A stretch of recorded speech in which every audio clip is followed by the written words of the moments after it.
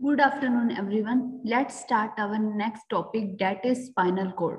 Last time हमने पढ़ा था सेंट्रल नर्वस सिस्टम का कौन सा part brain cerebral spinal fluid और वेंट्रिकल्स एंड मेनेंजेस अब हम पढ़ेंगे क्योंकि सेंट्रल नर्वस सिस्टम में हमने क्या पढ़ना है? ब्रेन और स्पाइनल कोड में जितनी भी आपकी न्यूरॉन्स ट्रांसमिशन होती है वो। तो लास्ट टाइम हमने ब्रेन पढ़ लिया था आज हम पढ़ेंगे स्पाइनल कोड के बारे में।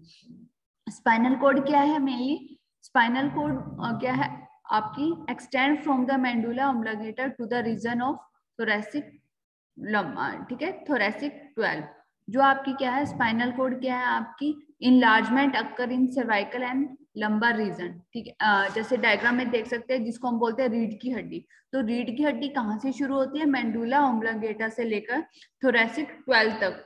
उसके बाद क्या करती है आपका? एक्सटेंड होती रहती है लंबर और सैक्रल तक। तो जितनी भी आपकी ये सेक्रल तक आपकी नर्व जाती है, वो सारी की सारी क्या होती है आपकी स्पाइनल नर्व मैनेजिस कवर करके रखते हैं इन स्पाइनल कोड को.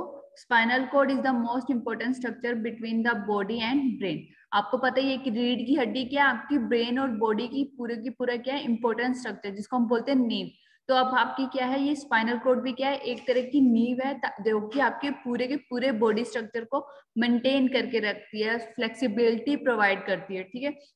स्टेबिलिटी प्रोवाइड करती है। अब स्पाइनल कोड में कितनी आपकी स्पाइनल नर्व्स आती हैं? स्पाइनल कोड में आपकी आती है thirty one pair of spinal nerve spinal cord is a cylindrical structure of a nervous tissue composed of a gray and white matter spinal cord क्या है? आपकी सिलेंड्रिकल स्ट्रक्चर की होती है। इसके अंदर आपकी ग्रे और व्हाइट मैटर प्रेजेंट रहते हैं। यानी कि आपकी मिलके बनती है ग्रे मैट ग्रे और व्हाइट मैटर से मिलके। अब स्पाइनल कोड के कितने पार्ट्स होते हैं? चार पार्ट होते हैं। सर्वाइकल थोरेसिक लंबर और सेक्रल अब हम हमें पता होना चाहिए कि सर्वाइकल में कितने आते हैं? लास्ट टाइम हमने पढ़ा था। दिखाती हूँ मैं अभी।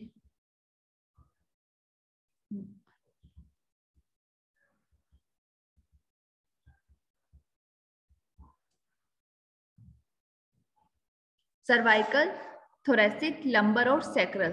तो आपकी कौन कौन सी आपके सर्वाइकल में कितनी आती है? थोरेसिक में कितनी नर्व्स आती है? लंबर में कितनी नर्व्स होती है? और सेक्रल में कितनी नर्व्स आती है? ये हमने एएनएस के किसमें पढ़े थे? सोमैटिक में, जिसमें हमने क्रैनियल नर्व्स और स्पाइनल नर्व्स के बारे में पढ़ा था। अब क्या है main function of spinal cord? अब स्पाइनल कोड का फ़ंक्शन क्या है आपकी बॉडी में?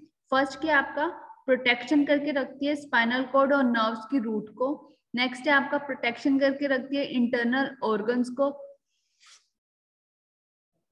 और ये क्या करती है? आपकी फ्लेक्सिबिलिटी प्रोवाइड करती है। आपके मोशंस में बॉडी में जितने भी मूवमेंट्स वगैरह होते हैं उनमें। और लेफ़्ट और राइट बेंडिंग रोटेशन फ्लेक्सेशन और एक्सटेंशन ठीक है? ये सब आपका किसकी हेल्प से होती है? स्पाइनल कोड की हेल्प से। तो आपका स्पाइनल कोड में सिर्फ़ आपको स्ट्रक्चर पता होना चाहिए स्पाइनल कोड की कितनी नर्व्स प्रेजेंट रहती है स्पाइनल कोड के पार्ट पता होना चाहिए फ़ंक्शन पता होना चाहिए और स्पाइनल कोड किससे मिलके बनती है। नेक्स्ट टॉपिक है आपका फ़ंक्शन ऑफ़ एफरेंट और इफ्रेंट नर्व स्ट्रक्ट इसमें हमने ये बताना है कि एफरेंट और इफ्रेंट नर्व आपस में कैसे काम करती है, जिसकी वजह से आपकी बॉडी में उसी टाइम आपके नर्व ट्रांसमिशन की वजह से एक्टिविटीज़ होती है। फ़र्स्ट ऑफ़ ऑल पहले हमें पता होना चाहिए कि एफरेंट और इफ्रेंट होते क्या हैं। एफरेंट कौन से होते हैं? न्यूरॉन्स ये वो न्यूरॉन्स होते हैं जो कि आपका रिसेप्टर से मैसेज लेता है और ब्रेन तक पहुंचाता है, ठीक है? इस टाइप के न्यूरॉन्स को हम सेंसरी न्यूरॉन्स भी बोलते हैं।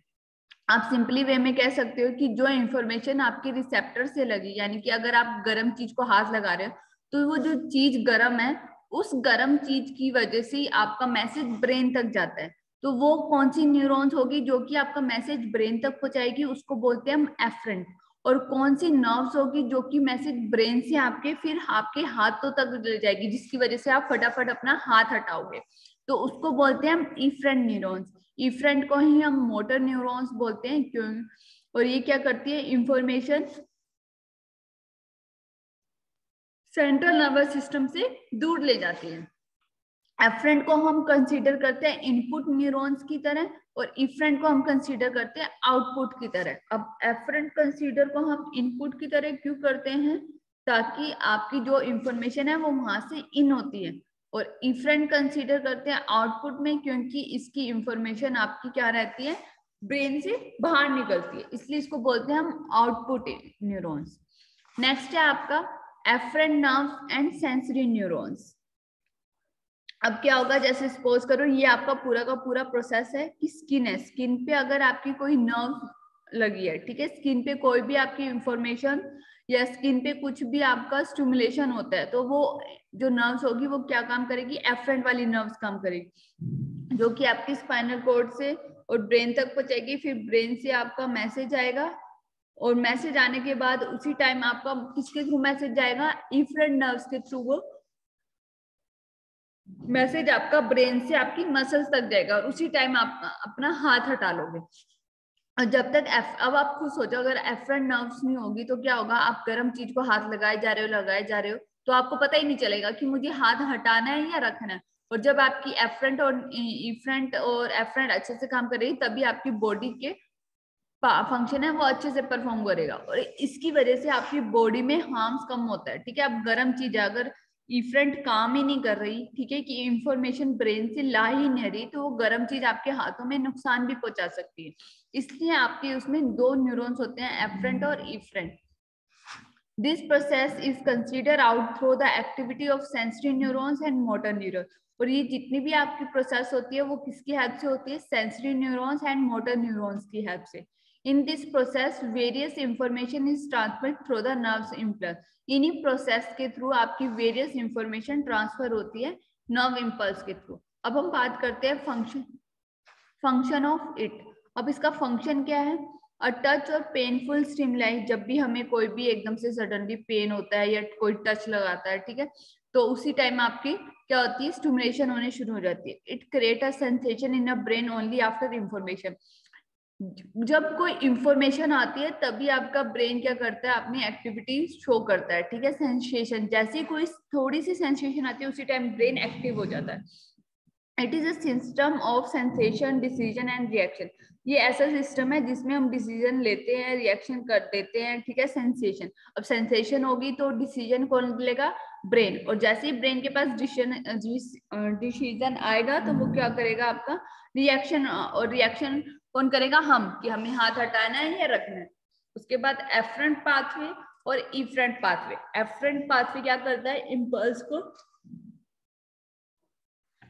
रीजन तक पहुंचाता है। और इफ्रंट पाथवे क्या करता है? ये इंटरेस्ट से जो रीजन है आपका यानी कि ब्रेन से दूर ले जाता है। Neurons that receive information from our sensory organ, eyes, skin and transmit input to the CNS are called afferent neurons. Same वही बात है कि जो इंफॉर्मेशन आपकी ब्रेन तक पहुँचा जा रही है, वो होती है एफरेंट और ब्रेन से निकलती है वो इफ्रेंट अब ये डायग्राम देख सकते हो सेंसरी ऑर्गन सेंसरी इनपुट आया तो इंटीग्रेशन बाय ब्रेन और वहाँ से आपका मोटर आउटपुट जिसको बोलते हैं लिम्स ये आपका पूरा का पूरा मैकेनिज्म रहेगा एफरेंट और इफ्रेंट का। तो अब हम चढ़ते हैं लास्ट टॉपिक के सीएनएस में. रिफ्लेक्स एक्टिविटी रिफ्लेक्स एक्टिविटी क्या होती है? जब आपकी बॉडी में सडनली कोई एक्टिविटीज़ होती है, वो किसकी हेल्प से होती है? एफरेंट और इफ्रेंट की वजह से। तो जो आपके ऑटोमेटिक इनवोलेंट्री एक्शन होते हैं, उनको बोलते हैं आप reflex action with the help of reflex arc automatic involuntary action का मतलब होता है दरवाजे में एकदम से हाथ आ जाना, सुई आपके हाथों में चुप जाना तो उसी टाइम इमिजिएटली आपका इनवोलेंट्री एक्शन होता है। आपके बस में तो नहीं होता ना? तो ये जितनी भी आपकी इनवोलेंट्री एक्टिविटी होती है, कुछ टाइम के लिए with the help of reflex arc उसको बोलते हैं हम रिफ्लेक्स एक्शन अब रिफ्लेक्स एक्टिविटी परफॉर्म करने के लिए आपकी पाँच चीज़ों की ज़रूरत होती है रिसेप्टर सेंसरी न्यूरॉन इंटीग्रेशन इसमें हम एफरंट और इफ्रंट आपका इन्वॉल्व होगा. लाइक रिसेप्टर क्या होगी? वो गर्म चीज़ ठीक है? और सेंसरी क्या होगी? जो कि इंफॉर्मेशन आपकी ब्रेन तक पहुंचाएगी. और इंटीग्रेशन क्या होगी? जब ब्रेन उसको एनालाइज करेगा और मोटर जब ब्रेन से आपकी इंफॉर्मेशन जाएगी और इफ़ेक्टिव क्या होगा? जहाँ पे आपका ऑर्गन है, उसको इफ़ेक्ट करना है। इस तरह से आप रिफ्लेक्स एक्टिविटी को शो कर सकते हो कि किस तरह से आपकी बॉडी में रिफ्लेक्स एक्टिविटी होती है। It is define as the fast unconscious immediate automatic और involuntary response of the body to a stimulus ठीक है?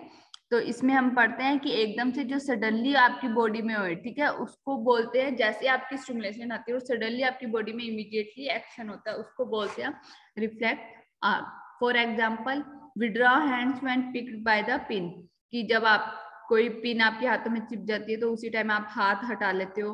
Withdraw hands when it touch and hot object जब कोई गर्म चीज़ लगती है आपके हाथ में, तभी इमीडिएटली हाथ हटा लेते हो। अब क्या आपका फ़ंक्शन ऑफ़ रिफ्लेक्स अब रिफ्लेक्स एक्शन के फ़ंक्शन क्या आपके मेंटेन करके रखता है? ये होम्योस्टेटिस को ऑटोमेटिक एक्शन एक्शन को बैलेंस एंड पोस्टर मेंटेन करके रखता है और रिफ्लेक्स मेंटेनिंग द मूवमेंट ठीक है? या जितनी भी आपकी मूवमेंट्स होती है रिफ्लेक्स की उसको कंट्रोल करता है। तो ये हो गए आपके सीएनएस की कंप्लीट टॉपिक्स कवर हो गए हैं। अब हम कल करेंगे न्यू यूनिट और new chapter start thank you for watching this video